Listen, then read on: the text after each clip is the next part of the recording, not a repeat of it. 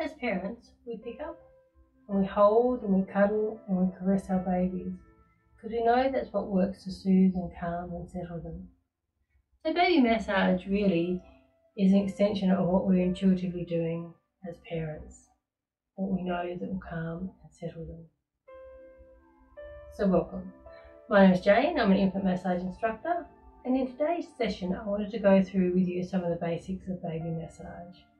So I'd like to talk to you a little bit about the practicalities, the things like the where and the when to massage, uh, when not to massage, and then I'd also like to demonstrate some strokes you can use on your baby.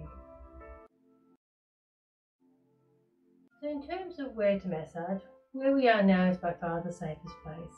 So sitting on the floor with your baby rather than up on a change table. And it's more of a safety issue on the change table that can roll and wriggle and very easily fall onto the floor so the floor is the safest place. The other thing that's worth mentioning is just taking a few moments before you settle into your massage just to gather together everything that you need.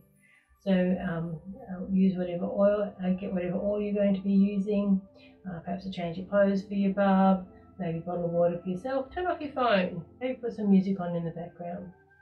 So what you're really doing is just creating a lovely calming environment that when you settle down with your baby to do the massage, you can just uh, slowly and gently move through the massage without any disruption to the routine. So, in terms of when to massage, there's no absolute right or wrong time to massage your baby. Uh, some people prefer massaging in the morning, some like in the afternoon, and some like to incorporate into their nighttime routine.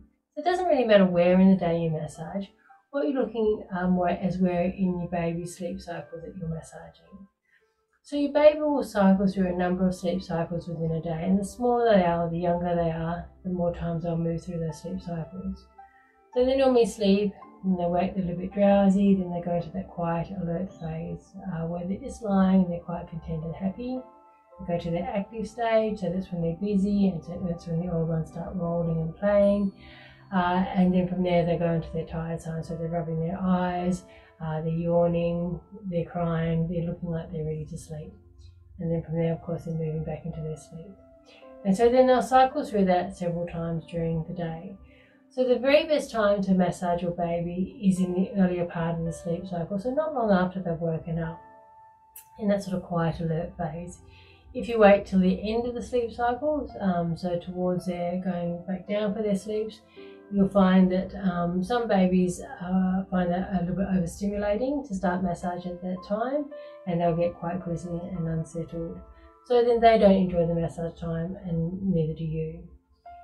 Every baby is a little bit different and you know your baby very best of all, but generally speaking, earlier in the sleep cycle is the best time to massage your baby. There are times when you wouldn't massage your baby as well. So if your little one had any major medical conditions or has perhaps had surgery, uh, perhaps has had issues with their hips, uh, these are sort of conditions you'd be wanting to check uh, and speak to your GP about before you started massaging them. More general sort of things just to keep in mind is uh, after your babies have had their vaccinations, they can often be quite fractious and unsettled and sometimes a little bit feverish and have sore legs as well. So you probably want to hold off massage for maybe 24 to 48 hours after they've had their vaccines. Any other time you'd be cautious with massage is when they had fevers or were unwell. So you just wouldn't massage them during that time. You'd wait till the, the fever had passed. You'd be certainly cuddling and holding them and reassuring them that way. You just wouldn't be massaging them. So in terms of the massage routine, there's many, many strokes you can use uh, on your baby. And it's really a matter of trial and error to find out what ones they like and what they don't.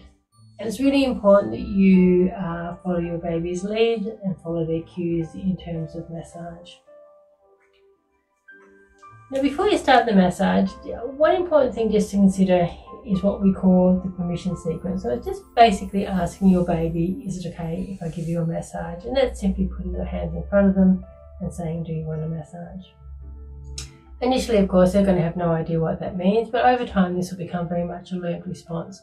And when they see you gathering everything together and then your hands in front of their face, they'll know that a massage is coming and they'll very clearly answer you as to whether they want one or they're not just purely by their little body language. So if they're happy with the massage, usually their eyes are wide and bright, they're smiling, they're laughing and gooing, little arms are all excited. If they're not wanting to massage, they will disengage from you. They'll get a little bit grizzly, maybe the face will grimace, and they'll get a little bit agitated. So just follow your baby's lead. If they're indicating they want to be massaged, then absolutely work your way through the massage. If they're saying, no, I don't want to be massaged, that's fine as well. Just leave it for that time of the day and maybe try later on, or maybe just leave it for another day. It's also really important to keep checking back in with your baby during the massage. So at any time if they're indicating that they're not enjoying the massage or they're starting to get unsettled with it, just stop. So it doesn't matter if you've only done one leg and they start to get grizzly, it's fine to stop at that point.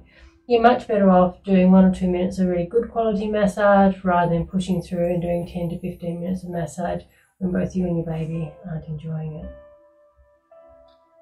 So to start off, whatever oil you're using just onto your hand and warm the oil. So rub it really firmly between your hands, get it nice and warm. And then a really nice place to start is just gliding your hands onto the little chest and just staying with them for a few moments before you start the massage. So from here, just really connecting with your bum.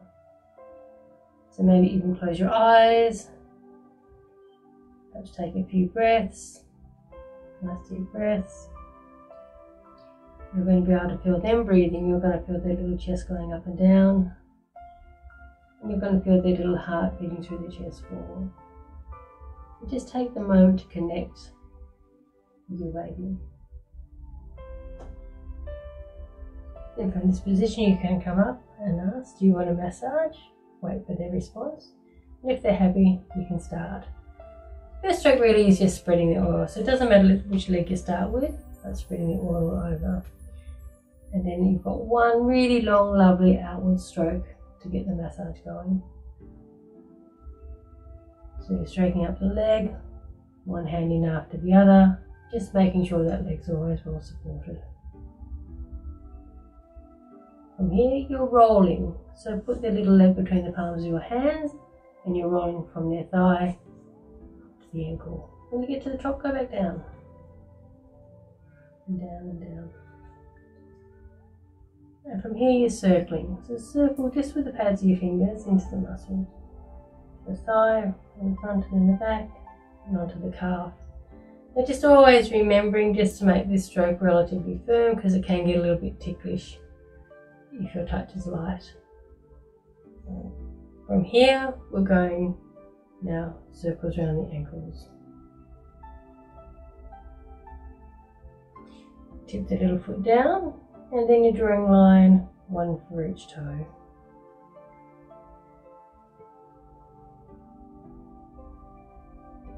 And coming back, cross each toe individually, so a little toe between your fingers, roll and squeeze and come off. One for each toe.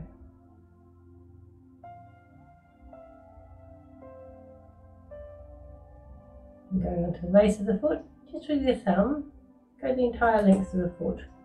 A nice firm stroke. So making sure your foot strokes are always firm because it can get a little bit ticklish for them around the feet if they're light and feathery. Hand flat on top of the foot, bit of a rub. And then come back down opposite to how you started. So now we're walking back, working back towards the body and coming back down the leg. Again, flowing one hand in after the other. Beautiful. And you do the same again on the other leg. So you probably need to top up your oil at this stage, a little bit more oil, warm it up, and away you go. Spreading the oil. And then just that lovely long outward stroke to start with, from thigh to ankle. Rolling your little leg between the palms of your hands, all the way up. and then circling into the muscles. Having the leg well supported with one hand, the other hand in the shape of a C, just circle around the ankle bone. Then from here, dip the little leg down and draw a line for each toe.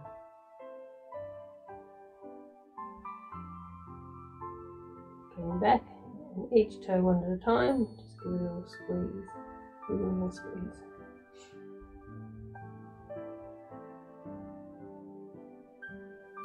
And from here going to the base of the foot. So one long line all the way down the length of the foot.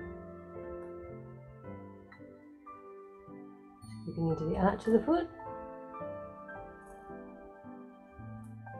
Giving the foot a bit of a rub. And then working back towards the body. So having the leg supported and bring one hand in after the other.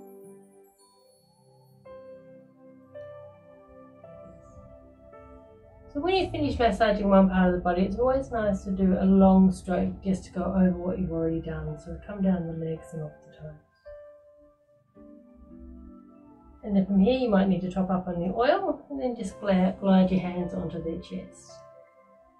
Just rest your hands on their chest and then come up so they're sitting on their shoulders. Come down the shoulders, down the side of the chest, follow the bottom rib up to the centre and then up the sternum. It's almost like you're drawing a little butterfly across their chest. Now some babies don't like having a chest massage and that's absolutely fine. You just follow your baby's lead. If they're enjoying it, continue with the massage. If they're not, just stop. And we're coming down over everything we've done. So we're coming down the chest, down their legs, and off those toes. Okay, so we'll move on to the face. So just resting your hands either side of the little head and let your thumbs fall over the eyebrow line. Just working way across the eyebrows.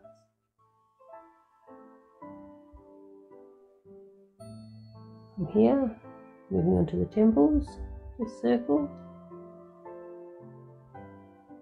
And then from this position, go straight onto the ears. So just ear between your fingers, give a little roll and a squeeze and come off, working way around the earlobe.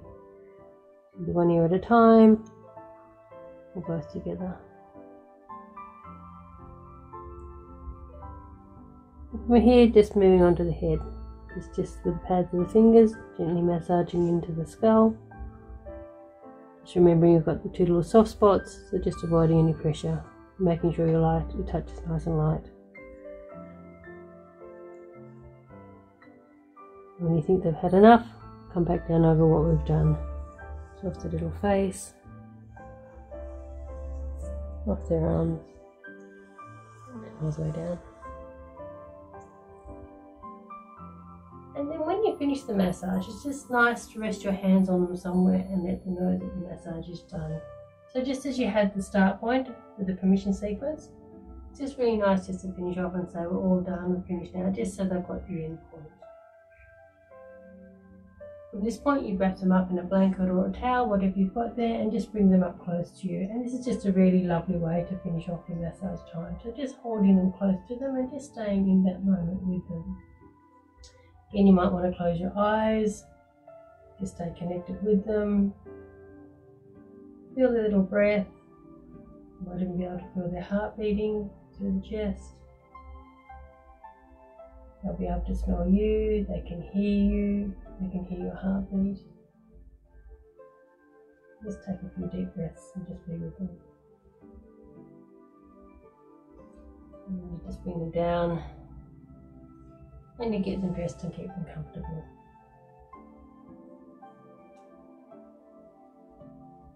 So hopefully that's given you enough information to get going on your massage journey.